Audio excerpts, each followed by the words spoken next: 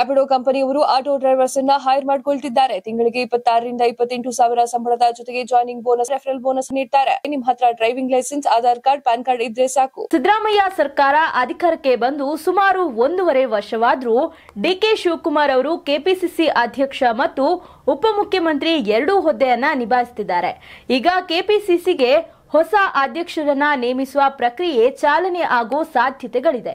ಮೂಲಗಳ ಪ್ರಕಾರ ಶೀಘ್ರದಲ್ಲೇ ಕೆಪಿಸಿಸಿ ಅಧ್ಯಕ್ಷ ಸ್ಥಾನಕ್ಕೆ ಡಿಕೆ ಶಿವಕುಮಾರ್ ರಾಜೀನಾಮೆ ಕೊಡಲಿದ್ದಾರೆ. ಕಳೆದ ವಿಧಾನಸಭಾ ಚುನಾವಣೆ ಮುಗಿದು ಸಿದ್ದರಾಮಯ್ಯನವರ ಸರ್ಕಾರ ಅಧಿಕಾರಕ್ಕೆ ಬಂದಾಗಿನಿಂದ ಒಬ್ಬರಿಗೆ ಒಬ್ಬ ಹುದ್ದೆ ಎನ್ನುವ ಪ್ರಕಾರ ಕೆಪಿಸಿಸಿ ಅಧ್ಯಕ್ಷ ಹುದ್ದೆಯಿಂದ ಡಿಕೆ ಶಿವಕುಮಾರ್ ಕೆಳಗೆ ಇಳಿಯಲಿದ್ದಾರೆ ಅನ್ನೋ ಸುದ್ದಿಯಾಗಿತ್ತು.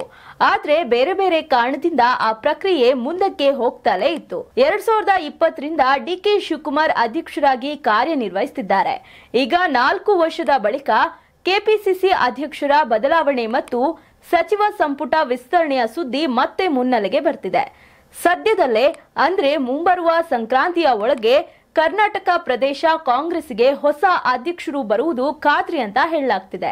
ಈಗ ಉಪಚುನಾವಣೆ ಮುಗ್ದಿರೋದ್ರಿಂದ ಅಧ್ಯಕ್ಷ ಹುದ್ದೆಯ ಪ್ರಕ್ರಿಯೆಯನ್ನ ಮುಗಿಸೋಕೆ ಎಐಸಿಸಿ ಅಧ್ಯಕ್ಷ ಮಲ್ಲಿಕಾರ್ಜುನ ಖರ್ಗೆ ನಿರ್ಧಾರ ಮಾಡಿದ್ದಾರೆ. ಹಲವು ವರ್ಷಗಳಿಂದ ಪಕ್ಷ ನಿಷ್ಠೆ ತೋರಿರುವವರು ಮತ್ತು ಜಾತಿ ಆಧಾರಿತವಾಗಿ ಅಧ್ಯಕ್ಷರನ್ನ ಆಯ್ಕೆ ಮಾಡಲು ನಿರ್ಧಾರ ಮಾಡಲಾಗಿದೆ. ಅರಣ್ಯ ಸಚಿವ ಮತ್ತು ಲಿಂಗಾಯತ ಸಮುದಾಯದ ಈಶ್ವರ್ ಖಂಡ್ರೆ ಮತ್ತು ಲೋಕೋಪಯೋಗಿ ಇಲಾಖೆಯ ಸಚಿವ ಮತ್ತು ವಾಲ್ಮೀಕಿ ಸಮುದಾಯದ ಸತೀಶ್ ಜಾರಕಿಹೊಳಿ ನಡುವೆ ನೇರ ಪೈಪೋಟಿ ಏರ್ಪಟ್ಟಿದೆ ಅಂತ ಹೇಳಲಾಗ್ತಿದೆ.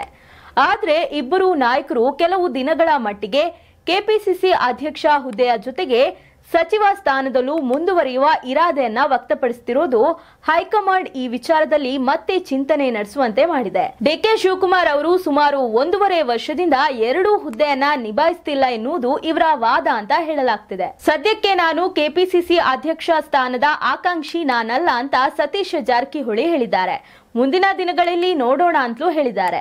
ಹೈಕಮಾಂಡ್ ಸತೀಶ್ ಜಾರಕಿಹೊಳಿ ಅಥವಾ ಈಶ್ವರ್ ಖಂಡ್ರೆ ಈ ಇಬ್ಬರಲ್ಲಿ ಒಬ್ಬರನ್ನ ಫೈನಲ್ ಮಾಡೋ ಸಾಧ್ಯತೆ ಇದೆ. ರ್ಯಾಪಿಡೋ ಕಂಪನಿಯವರು ಆಟೋ ಡ್ರೈವರ್ಸ್ ಅನ್ನ ಹೈರ್ ಮಾಡಿಕೊಳ್ತಿದ್ದಾರೆ. ತಿಂಗಳಿಗೆ ಇಪ್ಪತ್ತಾರರಿಂದ ಇಪ್ಪತ್ತೆಂಟು ಸಾವಿರ ಸಂಬಳದ ಜೊತೆಗೆ ಜಾಯಿನಿಂಗ್ ಬೋನಸ್ ಆರು ಸಾವಿರ, ರೆಫರಲ್ ಬೋನಸ್ ಹತ್ತು ಸಾವಿರ ನೀಡ್ತಾರೆ. ಅಷ್ಟೇ ಅಲ್ಲ, ಹನ್ನೆರಡು ಲಕ್ಷದ ಇನ್ಶೂರೆನ್ಸ್ ಕೂಡ ನಿಮಗೆ ಸಿಗುತ್ತೆ. ನಿಮ್ ಹತ್ರ driving licence Aadhaar card, PAN card ಇದ್ರೆ ಸಾಕು. ಹಿಂದೆ ಭೇಟಿ ನೀಡಿ ಬೆಳ್ಳಂದೂರು, ಹೆಬ್ಬಾಳ ಎಲೆಕ್ಟ್ರಾನಿಕ್ ಸಿಟಿ ಸಂಪರ್ಕಿಸಿ ಸೊನ್ನೆ ಎಂಟು ಸೊನ್ನೆ ನಾಲ್ಕು ಏಳು ನಾಲ್ಕು ಎಂಟು ಒಂಬತ್ತು ಏಳು ಮೂರು ಎಂಟಕ್ಕೆ.